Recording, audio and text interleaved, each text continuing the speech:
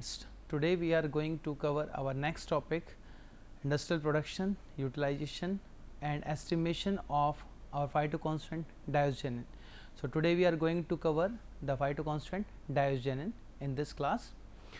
Diosgenin is a triterpenoid saponin. If you look at the structure you can see the cholesterol nucleus or the cyclopentanophenanthrene ring system cyclopentano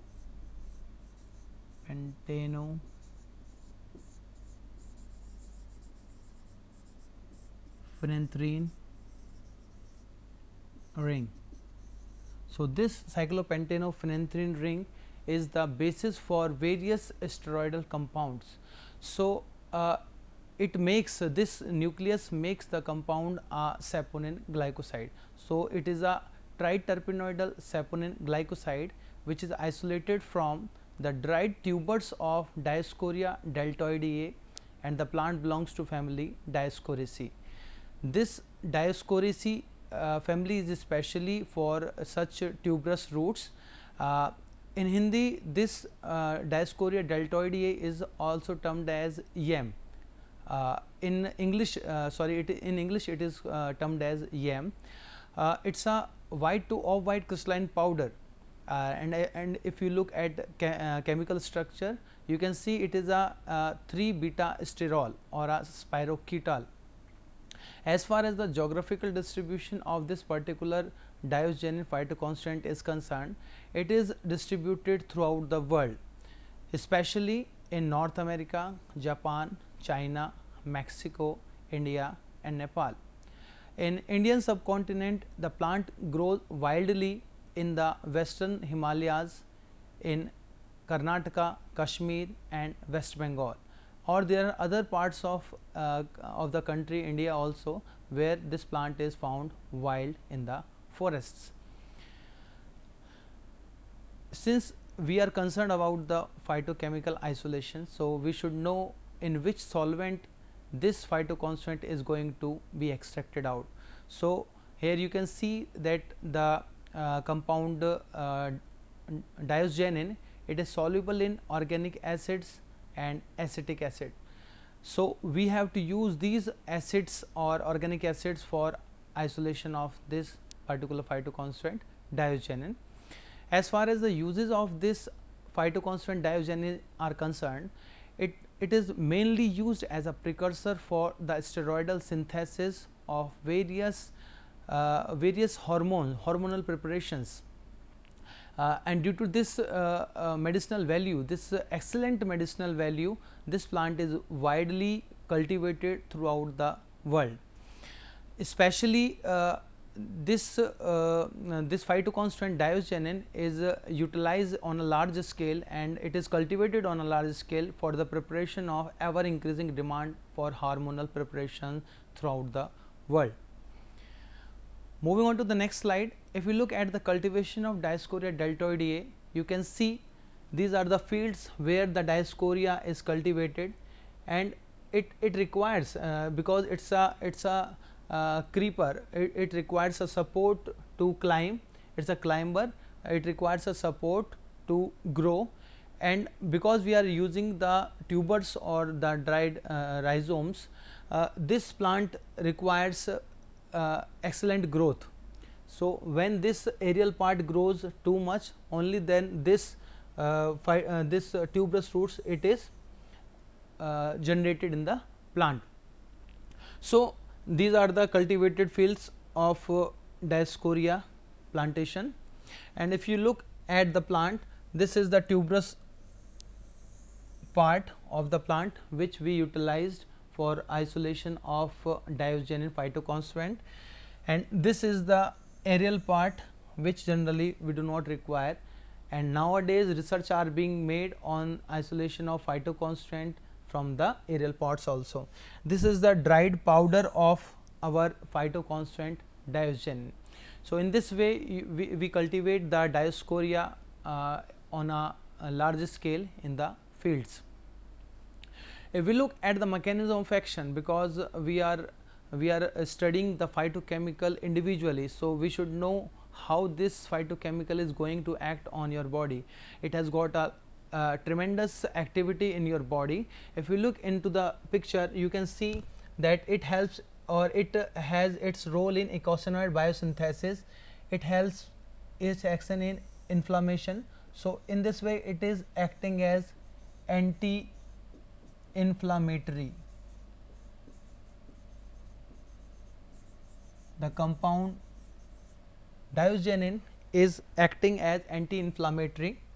It helps in homeostasis or management of calcium inside your body. It also helps in the biosynthesis and metabolism of protein in your body. It also helps in metabolism of fatty acids in your body. It also has its role and its involvement in cell proliferation and growth and due to this activity uh, this uh, diosgenin is uh, especially used for preparation of your hormonal preparations. It also have it also induces apoptosis and if something induces apoptosis which is a programmed cell death in this way it also acts as anti-cancer drug.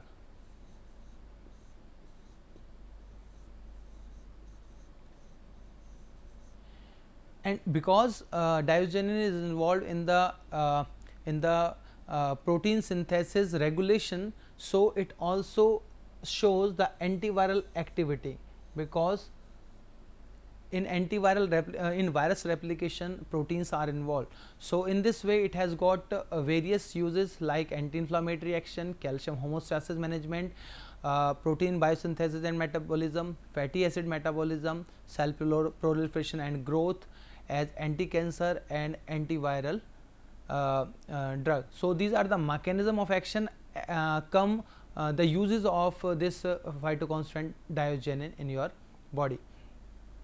If we move to the uh, extraction method, there are uh, two extraction method we are going to discuss. Since the, uh, the uh, phytoconstituent diosgenin is soluble in organic acids and acetic acid, so we have uh, involvement of acids and organic acids in the extraction part. So, in this uh, this is the alcohol extraction method.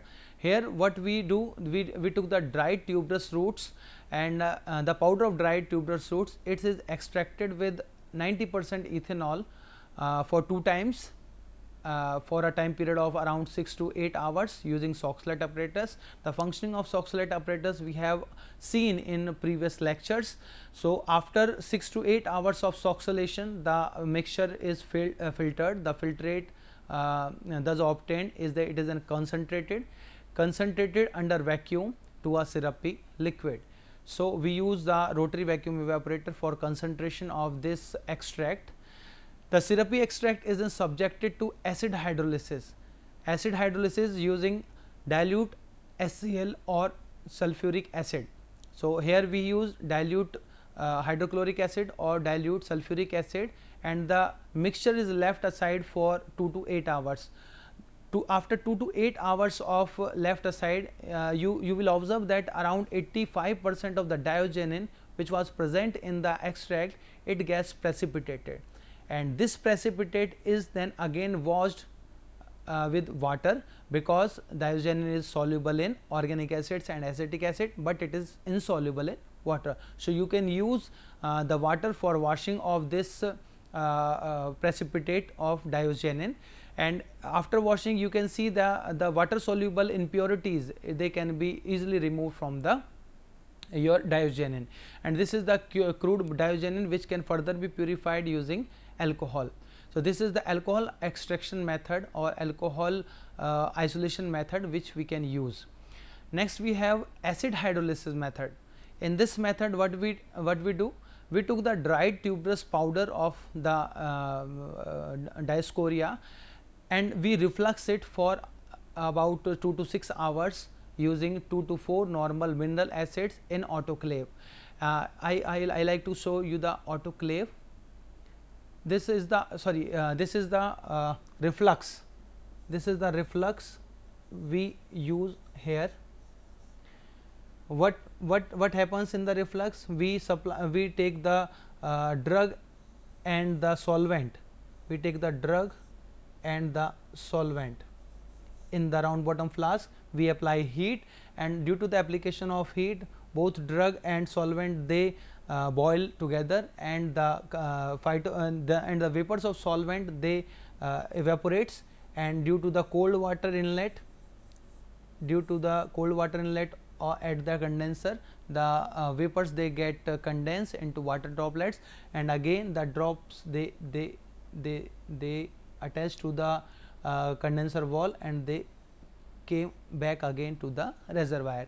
This is the reflux condenser we can use we use in uh, this acid hydrolysis method. Going to the back uh, after this acid hydrolysis uh, with the reflux uh, the mixture is then filtered this the mixture that we obtained after refluxing it is then filtered and the marc the marc is the drug which is collected on the filter paper the murk is then washed with water till it become neutral. So you have to uh, wash the murk until it become neutral. The neutralized murk which we have obtained on the filter paper it is then dried and the and it is extracted with hydrocarbon solvent. You can utilize any hydrocarbon solvent, uh, it can be ethyl acetate, it can be methanol, it can be ethanol. And after the extraction the, the, the extract is then filtered and the filtrate is subjected to vacuum evaporation and concentrated to a again to a syrupy liquid. Uh, it is about 25 ml and this concentrated extract or uh, liquid it is then refrigerated for about 1 hour uh, after refrigeration for 1 hour you can you can see the formation of crystals of diosgenin inside the uh, inside your concentrated extract which are then again purified using acetone. So, this is the acid hydrolysis method we can utilize for uh, production of uh, uh, diosgenin.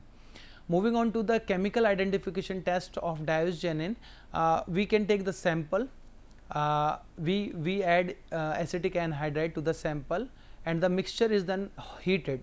After heating the mixture is cooled and the mixture is treated with concentrated sulfuric acid slowly which is added to the uh, through the side tubes and if there is a formation of green color then it confirms the presence of diosgenin in your sample uh, diosgenin in your sample. Uh, this is the reflux we have used uh, this is the reflux we have used and this is the assembly of uh, which we have already discussed in our previous lecture.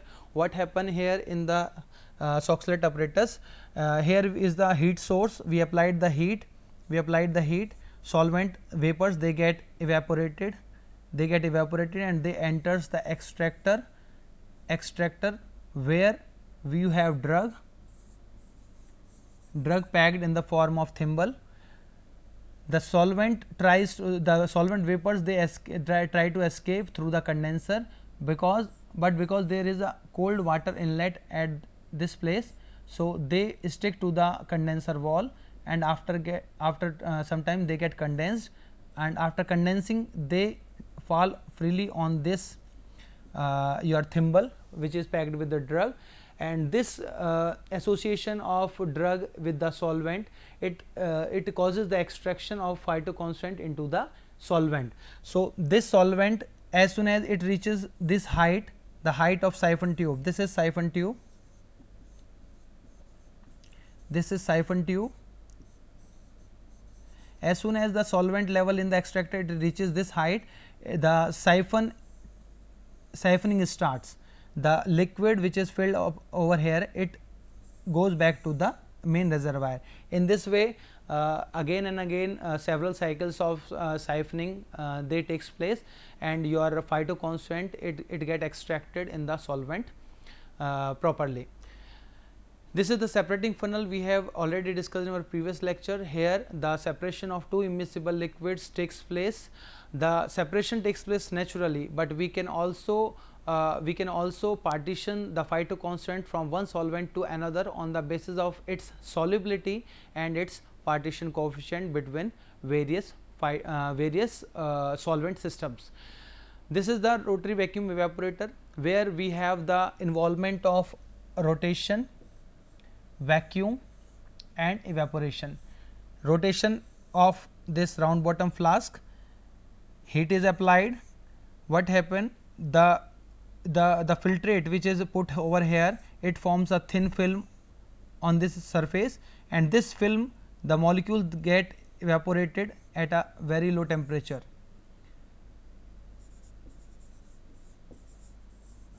Solvent vaporizes at low temperature due to formation of thin film. Okay. Simultaneously, we also apply vacuum through this vacuum pump and due to this our solvent vapors they uh, they, they uh, the, our solvent get uh, vaporized at a very low temperature uh, preserving the, the thermolabile phytochemical in the uh, in the filtrate. So, in this way you can recover the solvent also you can recover the solvent. The advantage of this technique is solvent recovery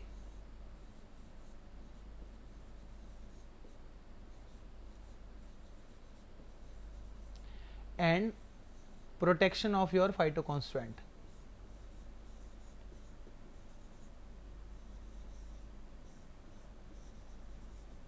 phytoconstituent which are generally thermolabile. So, in this way you can use the rotary vacuum evaporator for uh, efficient extraction and efficient isolation of phytoconstituent without damaging the integrity of the phytoconstituent. Moving on to the next slide, here are the properties of diosgenin. Diosgenin has got a melting point of about 205.5 degrees centigrade. Uh, boiling point of diosgenin is about 527.11 degrees centigrade. Solubility, we have seen the solubility on the very first slide also. It is soluble in organic solvents and acetic acid, but it is insoluble in water.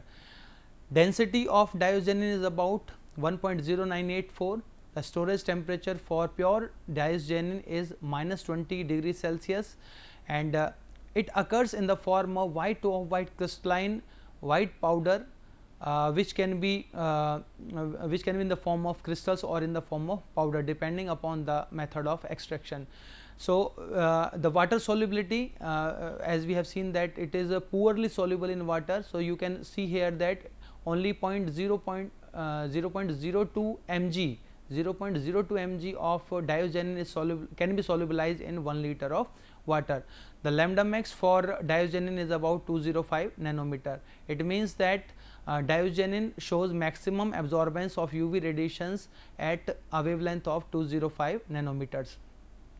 Moving on to the uh, analysis part or the estimation part, here we use uh, thin layer chromatography and the high pressure liquid chromatography you can see the TLC specifications. We have used for uh, here we have used silica gel which acts as a stationary phase.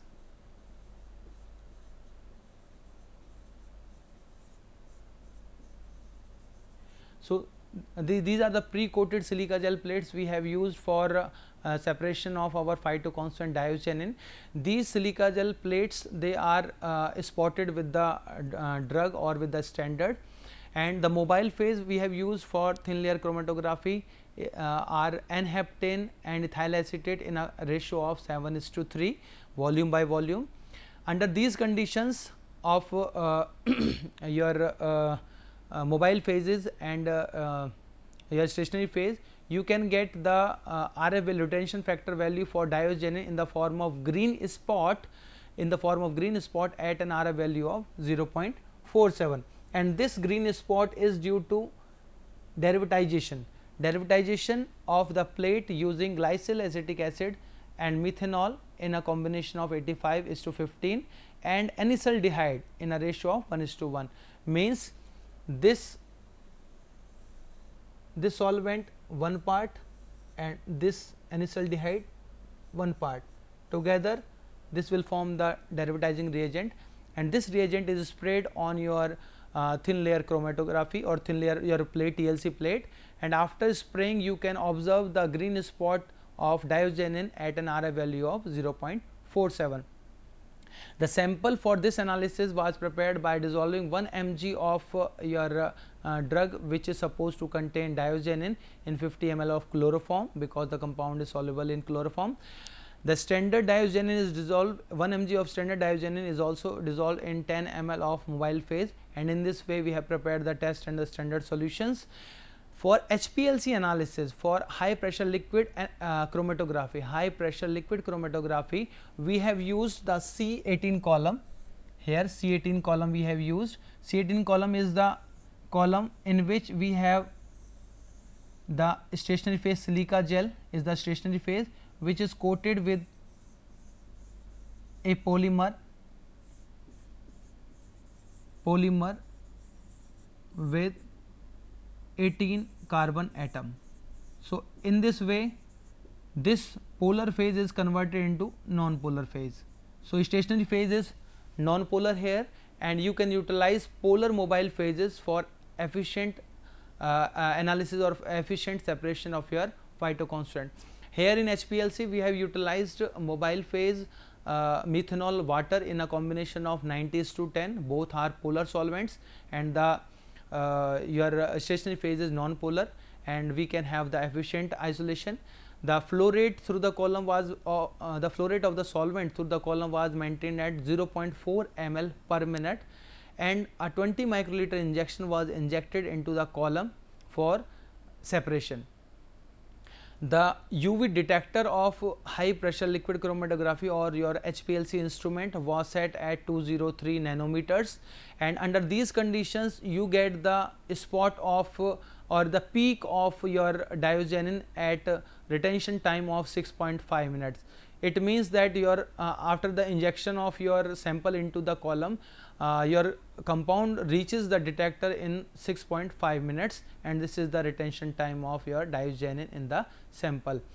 Uh, retention time uh, varies from uh, method to method. If you change the mobile phase then retention time varies. If you change the Uh, uh, speed of mobile phase or the flow rate of the mobile phase the retention time changes. So, under uh, above prescribed condition you get the retention time value at 6.5 5 minutes. The sample was prepared by dissolving 10 mg of extract in 10 ml of methanol. The mixture is sonicated for 10 minutes and filtered using micro uh, 0.2 micrometer filter paper or membrane filter and injected into the HPLC. The standard is also prepared 1 mg per ml uh, 1 mg per ml stock we have prepared. And from that stock we have prepared several dilutions for preparation of calibration curve. So, what happened you uh, you prepare the calibration curve using standard.